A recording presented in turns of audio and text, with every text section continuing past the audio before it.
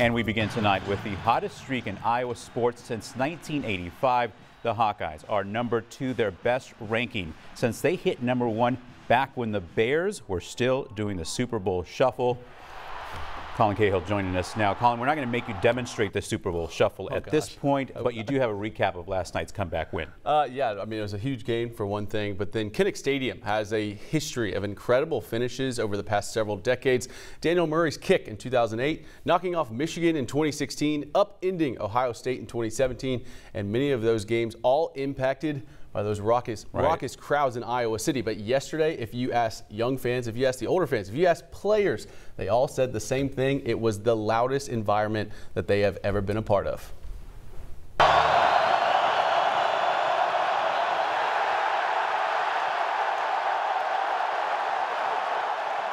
A crazy feeling, really. I mean, the fans today were on another level. I've never seen anything like it. It was rowdy, and I will truly never forget what today was like. It was mind blowing. Deafening, thundering, and mind blowing. Just a few ways to describe the crowd for the top four matchup in Kinnick last night. 65, 70,000 people are there just to support you, and they had a huge impact on the game. They helped force a lot of penalties, and uh, that was a big part of the game. Late in the second quarter, as Sean Clifford exited to the locker room with an injury, Penn State went to the backup quarterback, Ta'Quan Roberson, who hadn't played a meaningful snap yet as a Lion. The fans capitalized, forcing not one, not two, but three straight false start penalties. Overwhelming echoes of the fans causing miscommunication with a young quarterback. They were into the game. We knew they'd be ready to go at start, and uh, they were more ready than we were. I just wanted to make sure our team understood, you know, that uh, you know they can't play the game for us.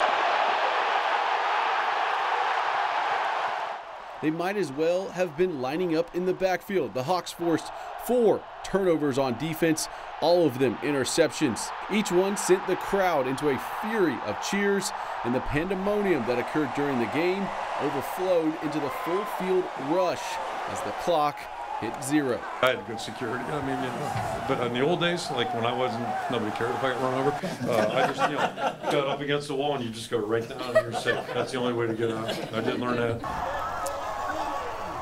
And I'm sure Coach Ferentz has had plenty of experience over the years with getting out of those on-field rushes. The Hawks take on Purdue next week in Kinnick. John?